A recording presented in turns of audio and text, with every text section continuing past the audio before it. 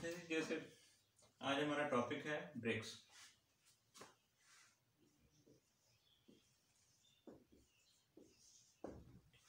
अच्छा सबसे पहले इसकी डेफिनेशन क्या है? डेफिनेशन ये the brick is artificially made masonry unit mostly in rectangular shape यानी ये हमारी बिल्डिंग कंस्ट्रक्शन की एक इकाई या एक यूनिट हम इसको कह सकते हैं कि जो सबसे छोटी चीज़ हमारी इसमें, जैसे हमारी बॉडी में सेल्स होते हैं, इसी तरह किसी बिल्डिंग कंस्ट्रक्शन में ब्रिक्स होती हैं।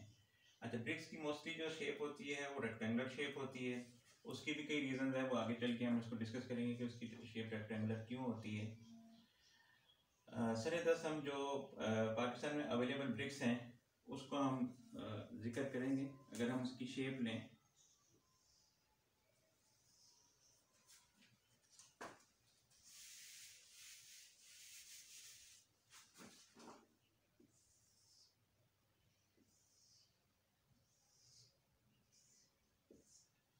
मोस्टली ये शेप बनती है उसकी। ये जो साइड होती है, ये हेडर कहलाती है उसकी। और जो अवेलेबल पाकिस्तान में ब्रिक्स है, उसका साइज़ यहाँ पे आता है सवा चार इंच और ये जो साइड है, ये स्ट्रेचर कहलाती है। इसका साइज़ आता है जी आठ सही तीन बटा चार इंच यानी पौने नौ इंच और तीसरी साइड जो ये होती है इसका शायद बनता है कि पाकिस्तान में दो से ही तीन बटा चार इंच अच्छा नॉर्मली जो हम इसको आ, बोलते हैं वो हम इसको बोलते हैं साढ़े चार इंच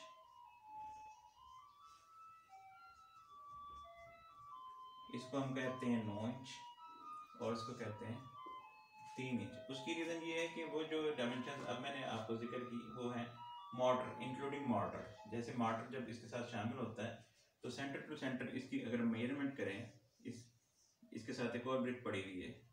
सेंटर टू सेंटर क्या मतलब ये है? कि यहाँ से लेके, यहाँ तक जब हम इसकी मेज़रमेंट करते हैं तो एक सूत्र इस तरफ़ से, एक सूत्र इस तरफ़ से, ये तकरीबन साढ़े चार इंच बन जाती है। इसी तरह नौ इंच उस तरफ़ से बन जाती है और तीन इंच उस तरफ़ से बन जाती है। ये साइजेस जो है ना वेरी करते हैं अकॉर्डिंग टू क्वालिटी और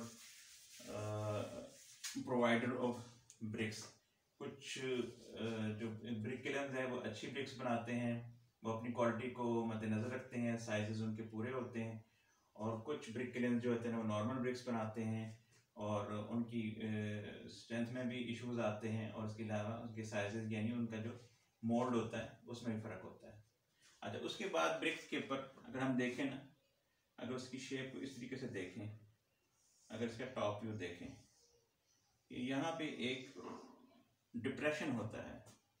इस डिप्रेशन को कहते हैं फ्रॉक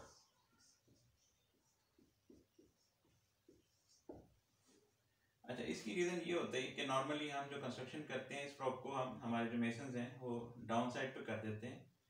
लेकिन ओरिजिनली इसको ऊपर की तरफ़ होना चाहिए ताकि जब उसके ऊपर मोटर वो मैसन ले करे तो इसके अंदर मोटर चला जाए और इसके ऊपर जो दूसरी लेयर आएगी ना, उसका उसका जो है ना बॉन्डिंग बेहतर हो जाएगी। अच्छा मोस्टली ब्रिक्स जो है ना, वो क्ले से बनाई जाती है।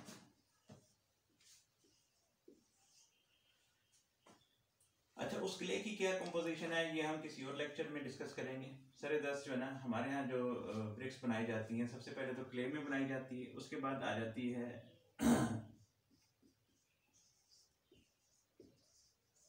फ्लाई ऐश में बनाई जाती है, फिर उसके बाद आती है कंक्रीट में। ठीक हो गया जी? अच्छा अब सबसे पहले जो मैंने ज़िक्र किया क्ले का। क्ले वो मटेरियल जिससे ब्रिक्स को बनाया जा रहा है। अब इसकी मज़ीद क्लासिफिकेशन इस लिहाज से होती हैं कि जब हम ब्रिक को की जो मेकिंग है, उसमें जब हम जाते हैं तो उसमें दो तरीके से उसको बनाते हैं। यानी पहला जो मेथड है, उसमें जो ब्रिक बन ब्रिक बनती है, वो है सन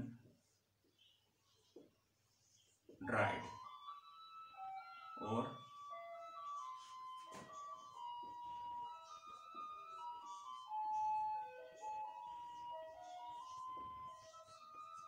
कच्चा ब्रिक्स दूसरी जो है, वो है किलन बर्न और पक्का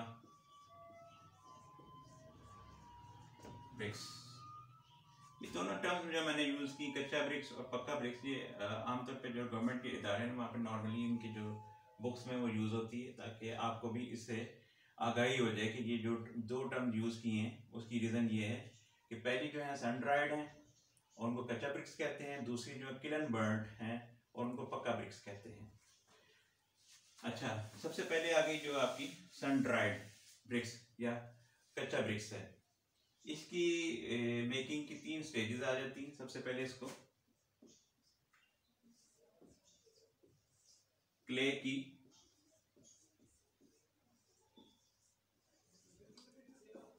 प्रिपरेशन है। अब क्ले की प्रिपरेशन में क्या है कि मट्टी का हसूल है, उसको गूंदना है, उसमें उसको तैयार करना है, ये क्ले की प्रिपरेशन आ जाती है। दूसरे नंबर पे क्या है? दूसरे नंबर पे आ जाती है मोल्डिंग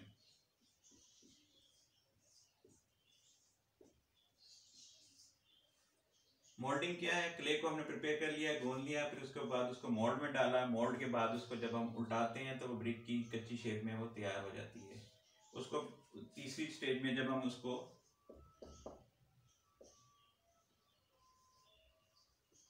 सन ड्राई करते हैं तो वो इस काबिल होती है कि वो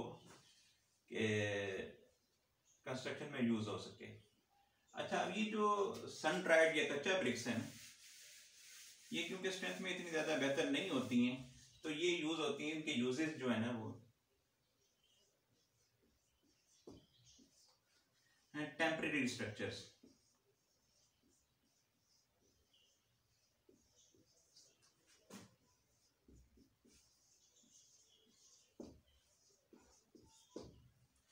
टेम्परेरी स्ट्रक्चर्स में क्या चीज़ आ जाती है? जैसे कोई कैंपिंग करनी है हमने कंस्ट्रक्शन कहीं शुरू करने लगे हैं।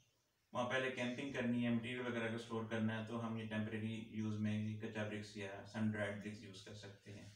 फिर हमने कोई जानवरों का कोई बनाना है हमने, कोई उसका, उनके रहने के लिए कोई जगह बनानी उसमें हम ये टेम्परेरी स्ट्रक्चर में कच्चा ब्रिक्स या सन ड्राइड ब्रिक्स यूज़ कर सकते हैं।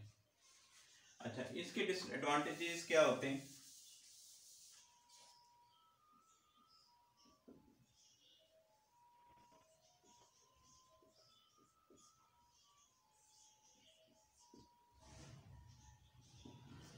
सबसे पहले तो ये है कि ये वाटर रेजिस्टेंट नहीं है।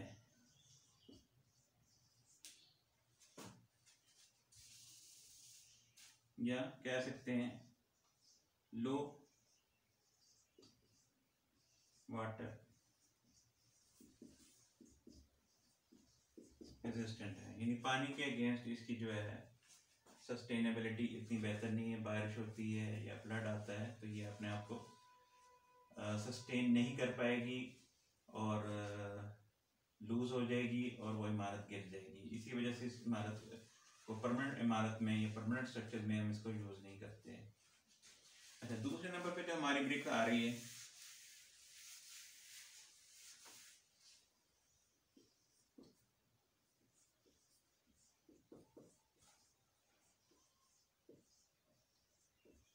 वो है जी किलन बर्न और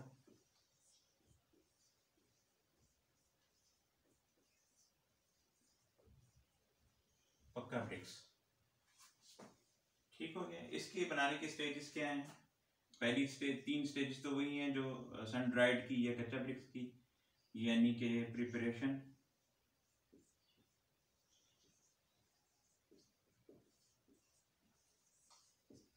प्रिपरेशन ऑफ़ क्ले। इसमें क्ले का हसूल भी है। बाद खेतों में से उठानी पड़ती है, खेतों से में उठा के लाते हैं, जो किलन की जगह होती है, वहाँ पे करीब में मट्टी अवेलेबल नहीं होती। बाद काफ़ी दूर से डंपर ट्रक्स के ज़रिए लाई जाती है। तो इसका यानी प्रिपरेशन में ये तीनों चारों प्रोसेस आ जाएँगे। यानी उसका, उसकी एक्वायरेश उसको एक्वायर करना और उसको बाद उसको प्रिपेयर करना। फिर नेक्स्ट स्टेप स्टेज जो इसकी आ जाती है वो है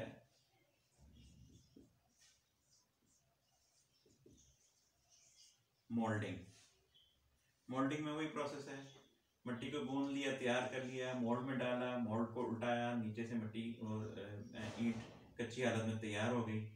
तीसरी स्टेज में फिर वही आ जाएगा।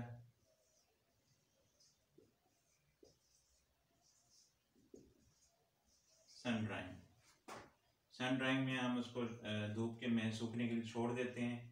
दो चार दिन में जब वो ड्राई हो जाती है, उसके बाद फिर चौथी स्टेज आती है।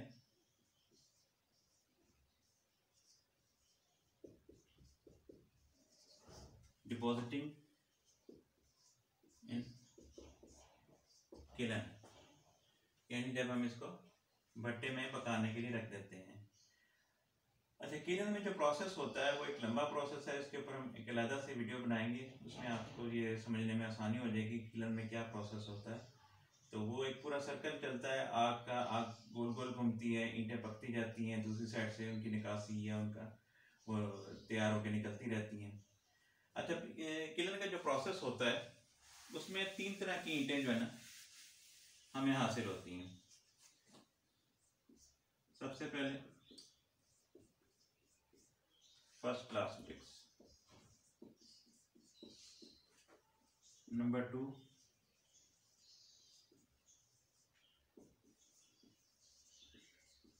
second class bricks number तीन third class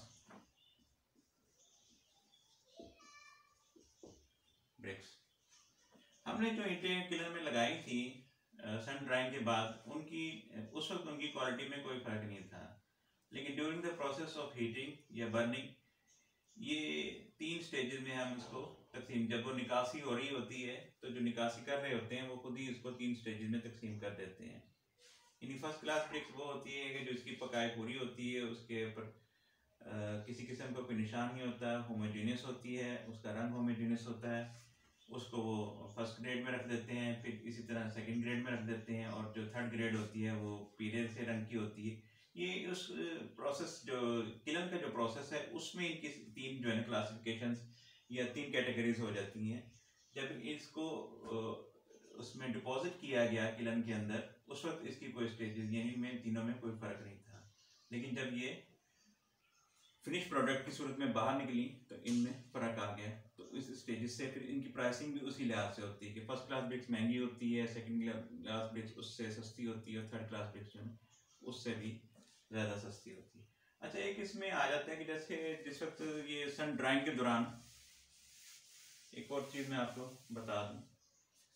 during sun drying अगर बारिश हो जाती है तो बाद ना ईंट के ऊपर हल्का हल्का सा जो है ना वो उसकी डिजलिंग के निशान आ जाते हैं। उसको कहते हैं बारशी ईंट अच्छा बारशी ईंट भी ज़ाया नहीं की जाती क्योंकि वो उसकी शेप अगर वो ज़्यादा बी शेप ना हो वेल शेप्ड हो तो उसको बी कलर में लगा दिया जाता है। और वो जब वो निकलती है तो उसके ऊपर हल्के हल्के कतरों के या बारिश के निशानात होते हैं। लेकिन उसकी स्ट्रेंथ में कोई फ़र्क नहीं होता। लेकिन हर किसी शेप उसकी जो है ना, या देखने में खूबसूरती में कोई फ़र्क आ जाता है। तो उसको बारशी ईंट कहते हैं, और उसका प्राइस जो है ना, वो डोम से बेहतर या सेकंड क्लास ब्रिक्स से बेहतर और फ़र्स्ट क्लास ब्रिक्स से कम होता है।